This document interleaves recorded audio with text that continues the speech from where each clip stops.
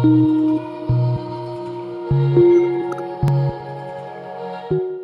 I'm Ailsa. I'm Client Services Director.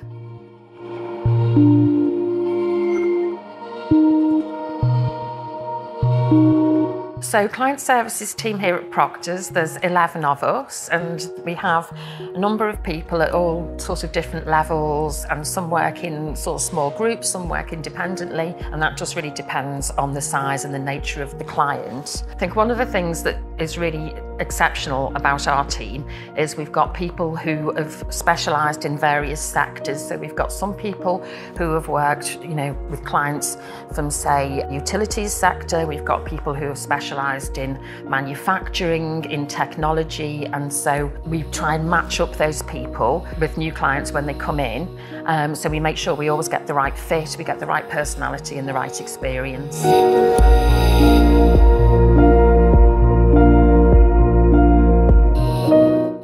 Have a really varied team. We've got people um, in their early 20s right through to in their 50s and everything in between, um, men and women.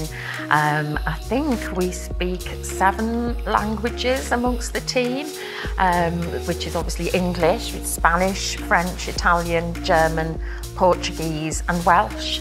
So, um, so yes, which is really handy because we have a lot of European clients and international clients, and so it's really good, you know, that we can we can offer people who speak the same language as them.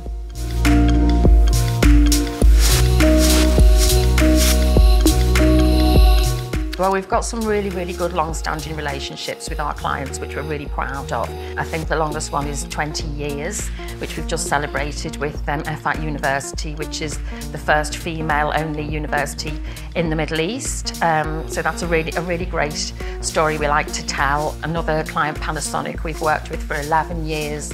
And yes, mo most of our clients, we, we do have good longevity in the relationships with them. I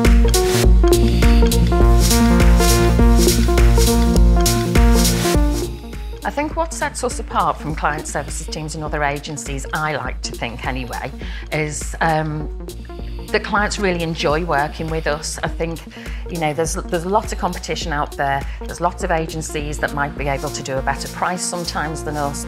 So there's lots of things, but I think in terms of, um, I think, yeah, people really like to, you know, enjoy the relationships that they have with us. You know, I, I like to think that people don't just work with us because they know we can deliver a job, but because, you know, it'll be a really close, strong, you know, we have the right personalities for the right clients and we we like to make it a sort of really good experience all, all around the whole thing.